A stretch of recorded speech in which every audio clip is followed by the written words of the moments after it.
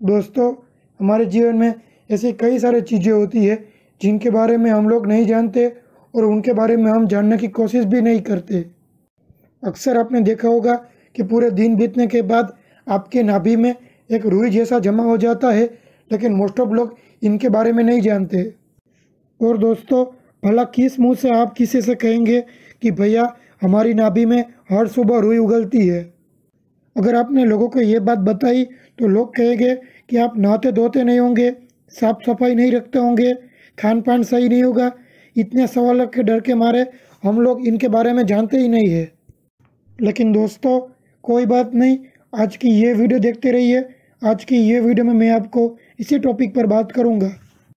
लेकिन दोस्तों, शुरू करने से पहले अभी तक आपने मेरी चैनल सब्सक्राइब नहीं की है तो सब्सक्राइब कर दीजिए।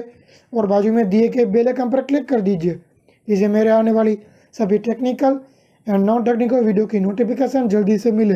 दोस्तों सब्सक्राइब करना बिल्कुल फ्री है और जिन जिन लोगों ने सब्सक्राइब किया है, उनका बहुत बहुत धन्यवाद।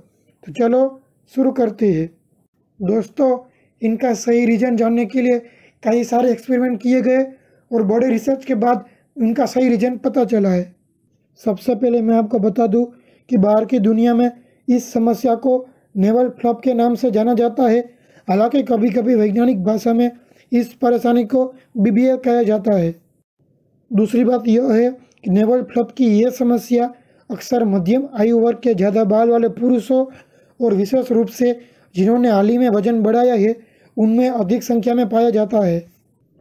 और दोस्तों, मैं आपको बता दूँ कि यह बात का रिसर्च सबसे पहले डॉक्टर काल ने किया था। डॉक्टर काल से उनके प्रशंसक ने सवाल किया कि क्या आपको पता है कि यह नाभि में हर रोज रुई कहाँ से आती है?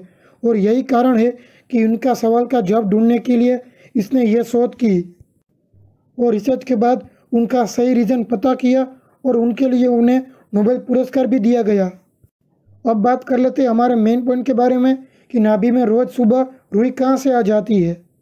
डॉक्टर काल और उनके सहयोगी ने जब इस विषय पर रिसर्च करना शुरू किया, तब उनको ये बात समझ में आई कि दरअसल हर रोज़ सुबह नाभि में भरने वाली रुई कहाँ से आती है।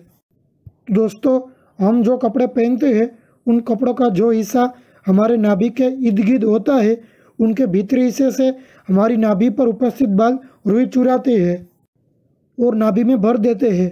दरअसल ये हमारे बाल नहीं, बल्कि उनमें मौजूद एक खास तरह के सूक्ष्म जीव की वजह से होता है। और डॉक्टर काल ने अपनी रिसर्च में यह भी बताया कि आप जितना पुराना कपड़ा पहनेंगे, उतना ही कम नेवलोफ्लॉप जमा होगा।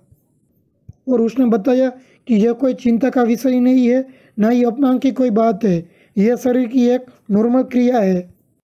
सिंपल भाषा में मैं आपको बताऊँ कि हमें जो कपड़े पहनते हैं, उनकी वजह से हमारे नाभि में रुई जमा हो जाती है।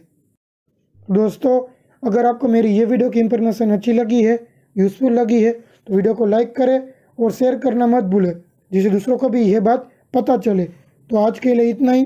अगले वीडियो के साथ मिलते हैं। तब तक थैंक यू